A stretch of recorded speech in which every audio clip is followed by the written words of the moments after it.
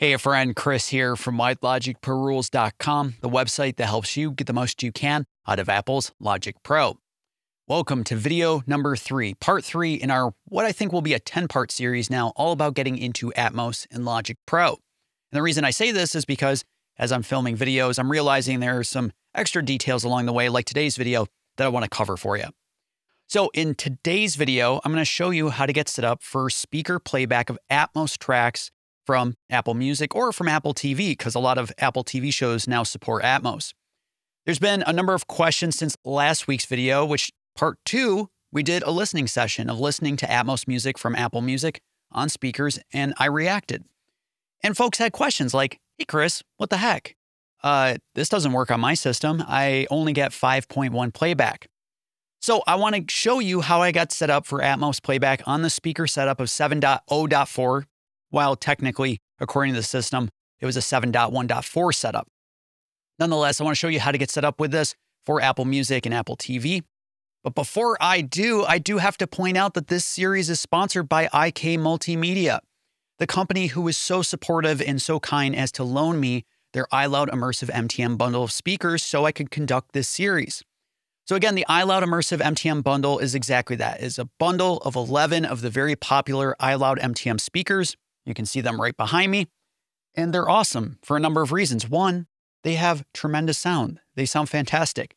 Number two, they're easy to mount just about anywhere thanks to the threading underneath the speaker, and they're light and they're small. So you can mount them onto a microphone stand, which I've done for all of the speakers in this room, including the height channels.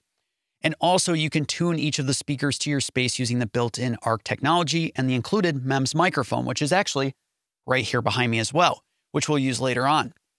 So I'll include a link in the description below as well as in this video if you want to learn more about the iLoud Immersive MTM bundle.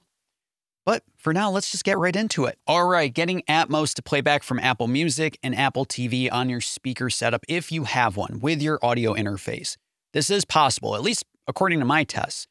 I've been able to achieve this, though there were some hiccups once I got everything set up. I'll explain that later on.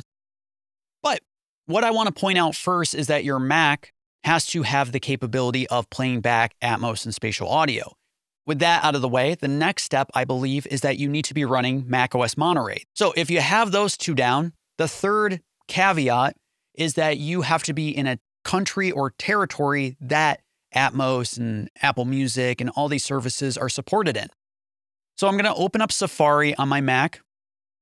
And just to show you, they're right around here.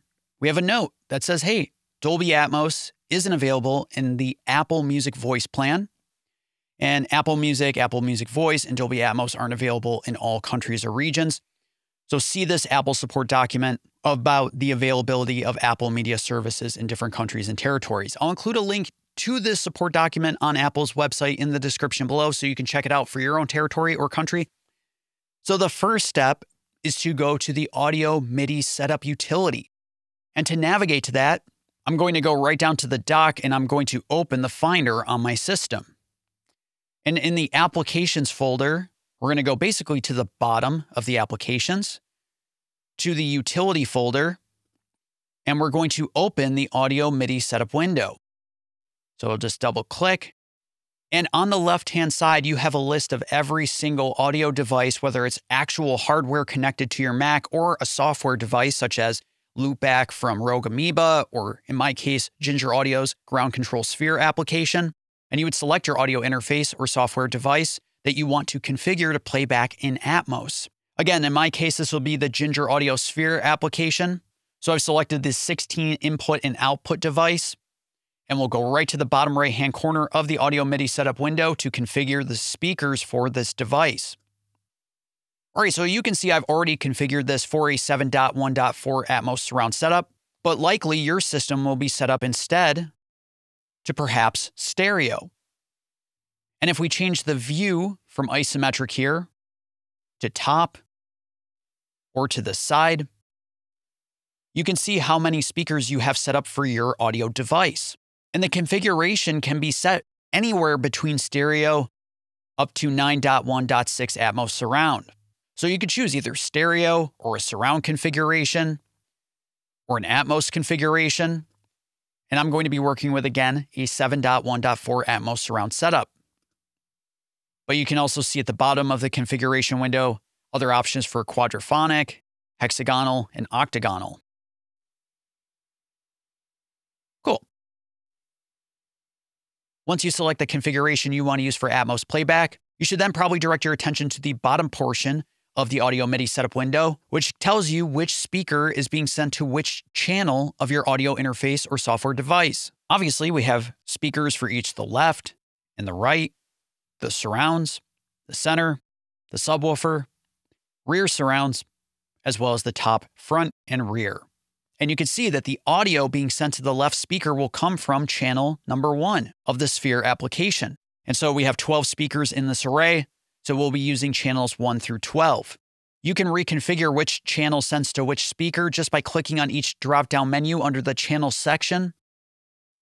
And we can say, no, I want actually the left speaker to accept the signal from maybe channel number 16. And you could reconfigure as you see fit. Once you've configured your channels to the appropriate speakers, you can then send a test signal to each of those speakers to ensure, yes, the left speaker is the left speaker in my room.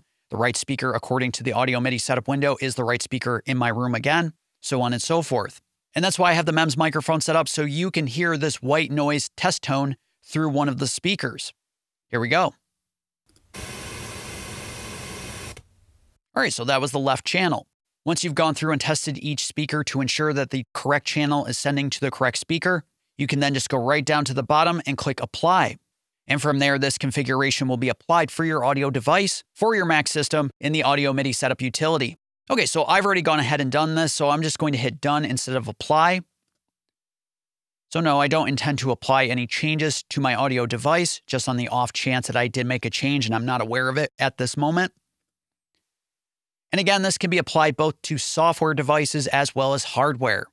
So if we go to my Symphony IO Thunderbolt device, which is what the Sphere application will be outputting to. We can go right down to configure speakers. And you can see that I've configured my Symphony IO Mark II again for a 7.1.4 Atmos surround setup. And playback channels 1 through 12 are being sent to each of these speakers in the setup. All right, cool. So at this point, let's go to Apple Music. And the next step is to go up to the taskbar at the top, click on Music, and go down to Settings. And under the playback settings, about three quarters of the way down, we have an option for Dolby Atmos. And we have three options that we can flip between. We have automatic, which means any track that has an Atmos version available will play back in Atmos. The second option is always on. And then we have the option to turn off Dolby Atmos, which means every track will only play back in stereo, even if there's an Atmos version available. I'm going to leave Dolby Atmos set to automatic and one other detail, if we go under the General tab in the music settings, is that you can also, if you have an active Apple Music subscription, is download Dolby Atmos tracks to your device. And then we'll click OK. The last other detail is to go up to the taskbar right at the top and go to the sound settings.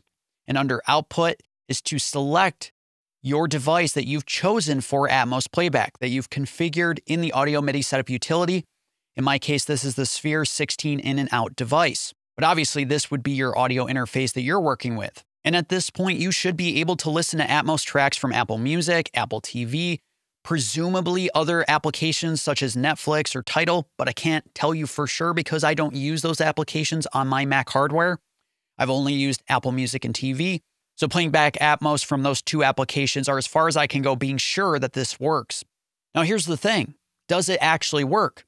Because you may have run into a situation if you followed all these steps up until now, you might find that Apple Music only plays back in a 5.1 configuration for typical surround, not Atmos surround.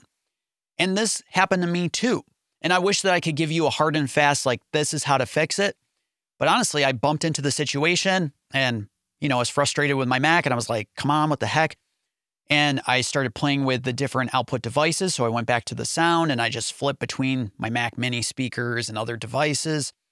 And then I tried restarting my Mac and quitting Apple Music. Something along the way fixed this. And ever since, I'm getting playback out of all channels. And I'm going to demonstrate that to you right now using the Dolby Labs functional testing, which is available on Apple Music. So I'm going to go up here and I'm going to turn off Stage Manager just so we can be sure to see two apps side by side. So I'm going to close this up a bit. We'll close the audio MIDI setup window. Excuse me. Let's close Safari and we'll minimize the Symphony Control app for right now. All right, cool. So let's open Sphere so we can see the channels on the output here. Let me see if I can squash this up a bit. Awesome. That's why I have the IK Multimedia MEMS microphone active and ready to go. So you can hear each of these test tones play through each individual speaker in my 7.0.4 setup. I'm going to play track six from the Dolby Labs functional testing album on Apple Music. So you will hear a voice play through each channel. And I've opened the Sphere application so you can also see the playback through each channel as well. And if we remind ourselves, I have the Sphere 16 device set as the input in the Sphere application. And I've set Alt 1 here to my Symphony IO Mark II. So that's where the signal is playing through. It's playing through Sphere's own virtual device and outputting to the Symphony IO Mark II. So you're going to be able to hear these test tones as well as see them on each meter play through. The only thing you won't hear is the LFE channel because, again, I don't have a subwoofer in my studio at this moment. So let's give it a try right now. Here we go. Left. Right. Center. Left surround. Right surround. Left rear surround. Right rear surround. Left top front. Right top front. Left top rear. Right top rear. Left. And as you could see and hear, we had specific output playback for this multi-channel setup for Atmos from each individual speaker in sequence. And the only thing that was left out was the LFE channel, again, because I don't own a subwoofer. So if we go to my Atmos listening session tracks, and if we play that snarky puppy track once again, I'm going to illustrate to you. I'm actually going to play the audio from this MEMS microphone as I solo each individual speaker during playback. Let's give it a try right now.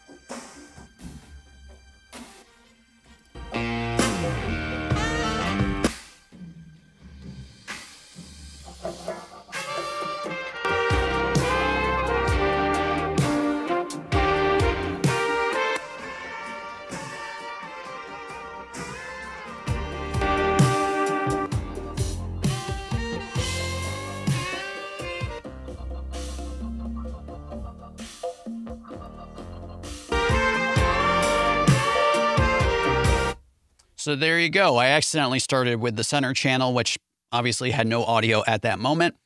I just went in sequence through the left, the right, the surrounds, the rears, the heights. And I've even grouped some of those individual outputs together so you could hear that. It's a little hashy. I suspect because I haven't downloaded this track. I've also learned very recently about clustering and how this works with Atmos. I'm not going to pretend like I'm the expert on it. But nonetheless, I have outputs out of every single channel and I'm not getting any sort of binaural roomy tone, as far as I can tell, that you hear when you listen with headphones, where you create a virtualized space because of the binaural rendering for Atmos for headphone playback. So this has worked for me. I'm going to assume it's going to work for you as well, as long as you have the appropriate Mac hardware and you're in a territory, country, region that can support these services from Apple. I do hope it works for you. All right, so that's the details on how to get playback going with Apple Music and Apple TV. And just to illustrate as well, let's open the TV app just so we can be dang sure that I'm talking what I'm talking about is true. So I'll click on the big door prize because I just checked it out and we can see right down here Atmos playback. So let's give it a try. Good morning. Hello. Nice school there, birthday boy. that shirt, that's funny and also makes me feel bad. Love you, Dad.